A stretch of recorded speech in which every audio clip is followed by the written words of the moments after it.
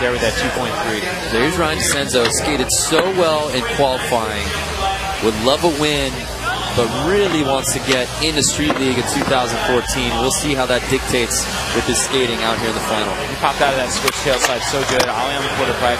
Hurricane on the bank. It's a little mini hubba ledge. Same run we saw in the, in the That's qualifiers, right. Yeah. but he's just, you know, going to do it better. Nollie Feeble Grind. Making his way back across, 360 Ollie. I wanted to say that before he started it because I knew what he had. But, you know, that's not a diss. It's just he's just showing his strategy. He's in the contest to win it. I mean, that's what he's here for. And he's got this thing timed out so well. Final trick as he's hitting the impact section. Ah, back Smith.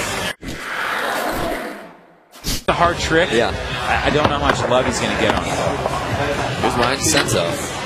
What? A nose slide. Shove it out. DeCenzo stand up. 6.4 or better. He needs to win this contest to get into Street League.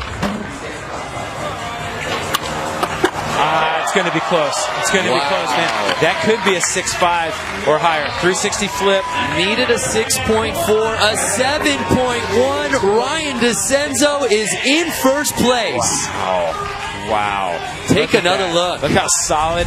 Judges know it was perfect. Rolling away with tons of speed on that 360 So clean when the pressure was on. Ryan DeCenzo delivers, but will he be able to hold on to it? Greg Lutzka Set. Can you imagine how Lutz is feeling right and look now? at Street League Commissioner Rob Dyrdek pointing it out. Showing it off.